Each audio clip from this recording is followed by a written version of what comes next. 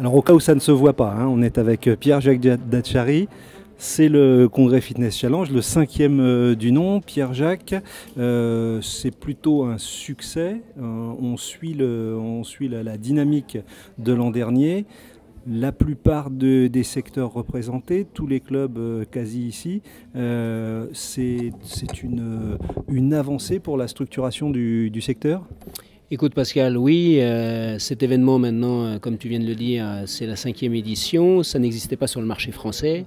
Il existe partout ailleurs dans les pays européens. Là, on fait vraiment un rendez-vous professionnel pour les managers de clubs.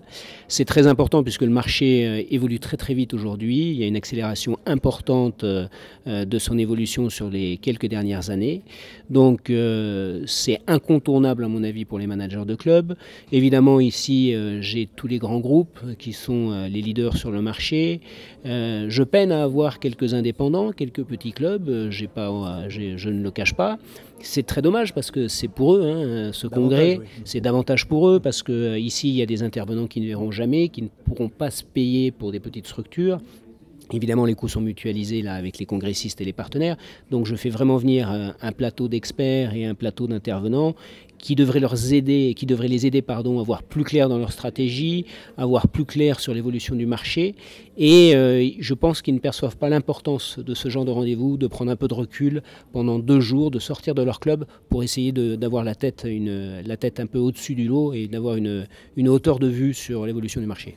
Alors je vais me faire l'avocat du diable et en tout cas le leur. Ils vont, ils vont, ils vont nous répondre qu'on ne peut pas être au forêt au moulin dans une petite structure où on a besoin du, patron sur place et euh, dans les congrès qui, euh, qui sont toujours des extras euh, pour eux, en tout cas perçus comme tels.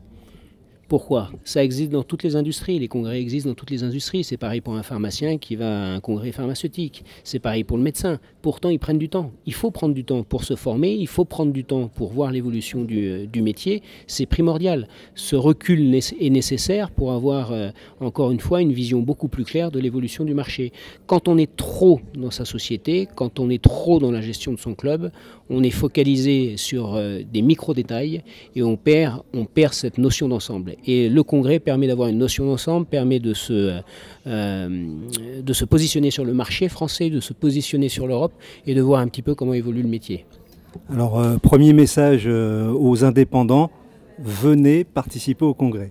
Ça, c'est le, le, numéro un. numéro deux, évolution sur les cinq, sur les cinq congrès. Qu'est-ce que tu as pu constater comme évolution par rapport aux, intervenants et aux, congressistes Peut-être en termes de volume et puis en termes de message des, des, intervenants? Alors, le congrès a à chaque fois progressé d'année en année. Euh, pour la cinquième édition, euh, nous faisons quasiment le même chiffre que l'an dernier, euh, que la quatrième. C'est là où je dis que j'attends les indépendants, bien évidemment.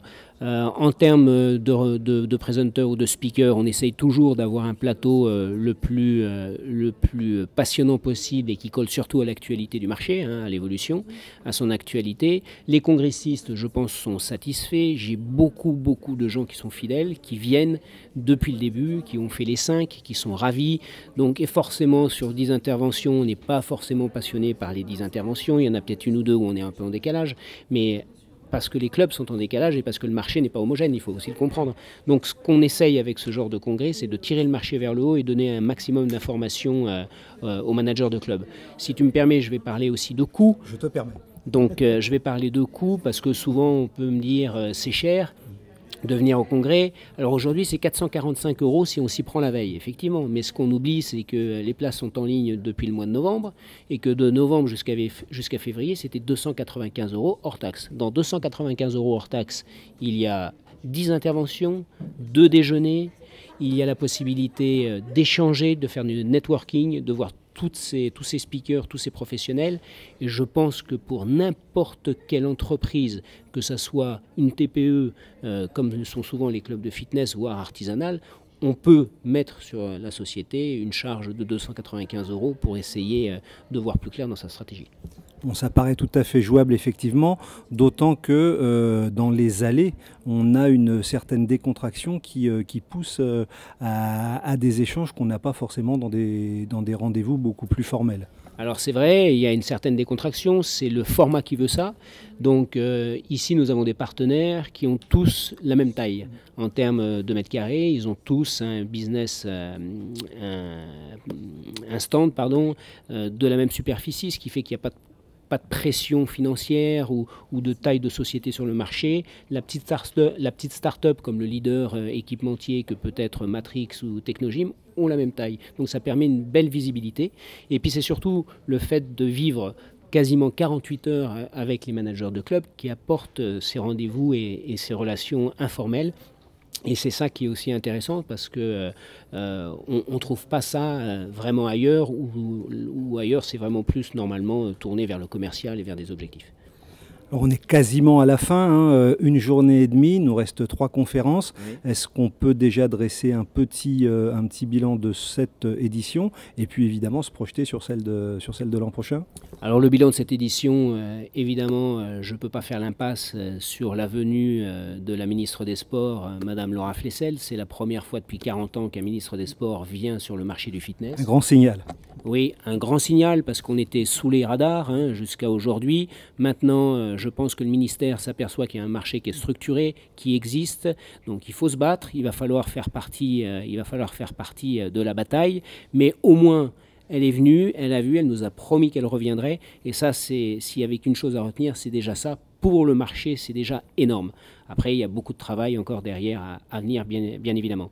Ensuite, il reste encore trois présentations. Il y a une présentation commerciale tout à l'heure à 13h de Michael Aguilar, qui intervient dans toutes les sociétés du CAC 40, qui est formateur depuis 20 euh, ans et présentateur depuis 20 ans avec euh, juste le titre de sa juste le titre de sa présentation devrait donner envie puisque le titre c'est marge ou crève. Donc euh, voilà, je pense que cette édition est un, est un beau succès. Les congressistes ont l'air satisfaits, euh, les, les, partenaires sont aussi satisfaits. On a réussi à créer une ambiance, on a réussi à créer un rendez-vous. Maintenant, j'attends vraiment que l'ensemble du marché s'en aperçoive et, et vienne participer à cet événement parce que tout ça s'est fait tout simplement pour faire évoluer le marché vers le haut, pour amener encore plus d'adhérents dans les clubs, pour que les gens vieillissent mieux, parce que c'est le seul objectif de ma société, à travers mes magazines euh, professionnels, que ce soit Fitness Challenge ou Coach Challenge pour les profs, ou à travers ce congrès, c'est d'amener de plus en plus de gens à faire du sport. On leur donne rendez-vous l'année prochaine alors. À, à l'année prochaine. Certainement à l'année prochaine. Merci. Merci Pierre-Jacques.